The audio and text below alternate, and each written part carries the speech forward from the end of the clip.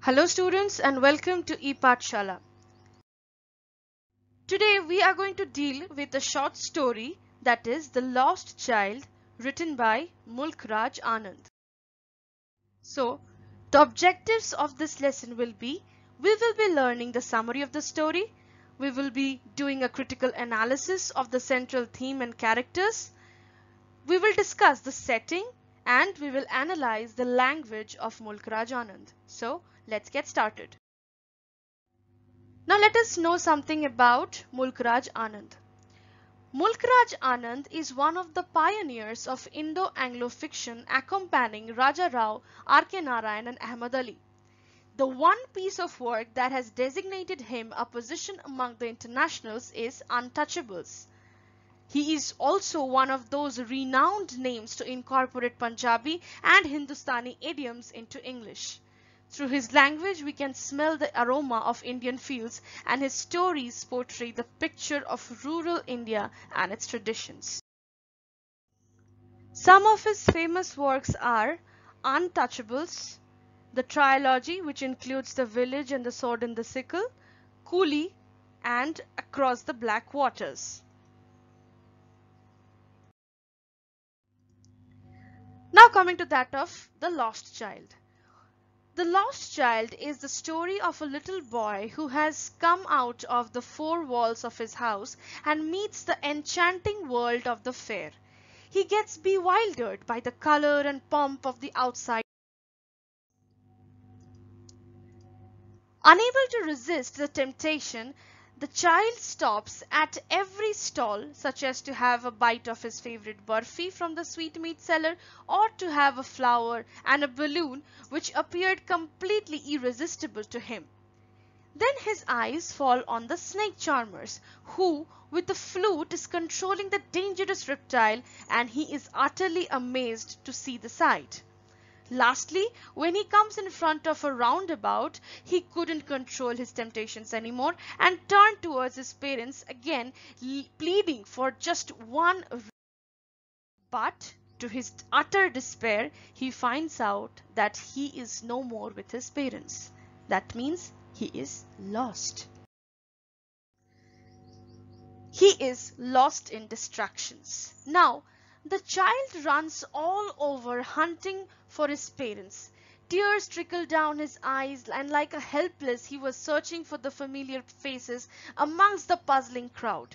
Amidst the merrymaking there was hardly anyone to listen to his sobbing. Then comes a sympathetic stranger. A stranger, just to console that little child, offers him all the alluring things that he wanted, that he ever wished for, and he wanted so badly but to our surprise he didn't even bother to look at them. Even even he just he just he just you know searched for his parents. His very eyes searched for his parents. That is that that that were the most valued gifts he now inferences. Did you find any underlying meaning in this? Let's get to the surface level understanding.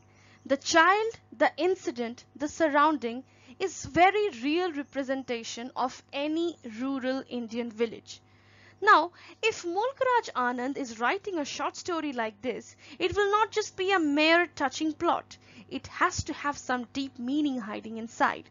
So, if we delve deep, we will be able to observe the different interpretations that can be made. Of course, the child is a very real character who is like any other child that we meet in our daily, daily lives. The vivid picture of a rural setting during the spring along with the fair has been expressed with a lot of colors and images like the yellow mustard fields, bright colored rabbits, etc. The din and bustle of the fair and the typical behavior of the child makes the story very relevant and real. But if we read carefully, we will be able to find each one of us in that lost child. That means the child represents us. And the fair, what does it represent? Well, of course, the fair symbolizes the world outside. We as human beings are prone to fall for greed and it becomes too tough for us to resist all the temptations.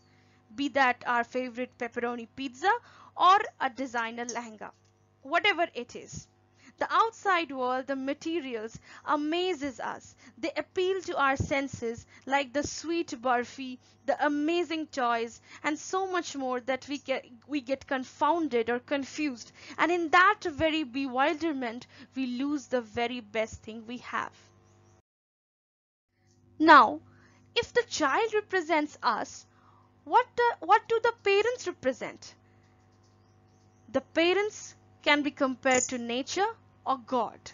The lost child represents human beings who have lost the touch of nature. Yes, of course, the lost child represents human beings who have lost the touch of nature. We are more prone to the unnatural and towards the things having a lot of color and pomp and show.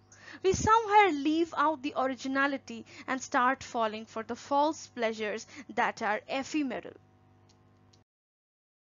The plot here is the protagonist. It is a story which stays in the limelight as the child can be any and every other child in the world and the father and mother represents every parent. The symbolic meaning of the story is what Anand wants us to observe and understand.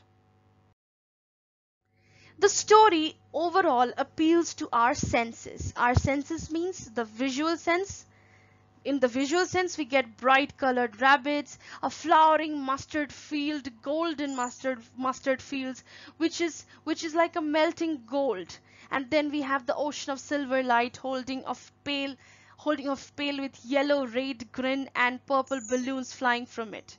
Olfactory that is the smell we smell the sweet perfume from the hearts of flowers, the sweet perfume of their pollen mingled with soft, cool breeze, the implacable sweetness of the scents that came floating on the wings of the languid air. Now the oral or the auditory. High-pitched sequence of whistling, creaking, squeaking, roaring, humming noises, all the din and bustle of the fair is what we can hear which is what we can listen. The gentle rippling of a miniature waterfall, the wind, and the strange sound of Siva's mad laughter. The language used. You must have noticed that the following Indian words are used by Anand. Jamun, Neem, Champak, Gulmohar, Koel, Gulab Jamun, Jalebi, Barfi, etc. Through his language, we can really smell the aroma of Indian fields and his stories portray the picture of rural India and its tradition. So we can say that the language Anand uses certainly has an Indian essence and taste imbibed within it. So that was all for today's video. If you have any queries regarding this lesson or any lesson that you would like us to upload, do not forget to mention that in the comment box below and do not forget to subscribe our channel like comment and share this video with the ones who really need it. For dedicated online english classes reach out uh, uh, reach out to us at this phone number on the screen or you can drop a mail at the following email id that's all. Thank you so much. Goodbye